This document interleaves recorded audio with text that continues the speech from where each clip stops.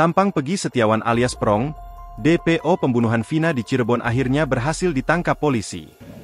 Kasus pembunuhan almarhumah Vina Cirebon. Terima kasih kepada Polda Jabar, satu DPO telah tertangkap.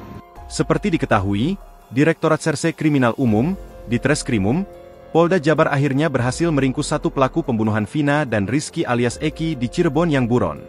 Direktur Reserse Kriminal Umum, Kombes Pol Surawan, mengatakan, satu pelaku atas nama Pegi Setiawan sudah diamankan. Pegi ditangkap di salah satu tempat di Bandung. Selasa, 21 Mei 2024, malam. Dikutip dari tribunnews.com, Rabu, 22 Mei 2024, dari foto yang dirilis polisi, tampak Pegi berambut lurus.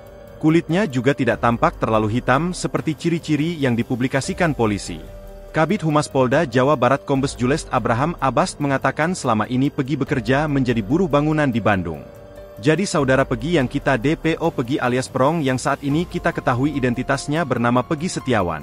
Ini info terakhir yang kami dapatkan adalah bekerja sebagai buruh bangunan di Bandung.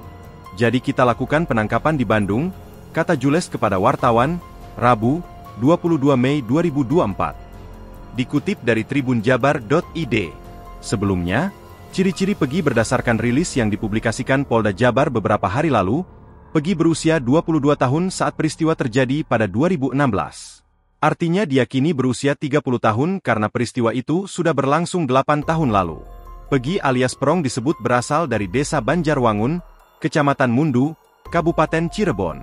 Pria yang disebut sebagai otak peristiwa kejahatan itu memiliki ciri-ciri fisik bertinggi 160 cm, badan kecil, rambut keriting, dan berkulit hitam. Download Tribun X sekarang, menghadirkan lokal menjadi Indonesia.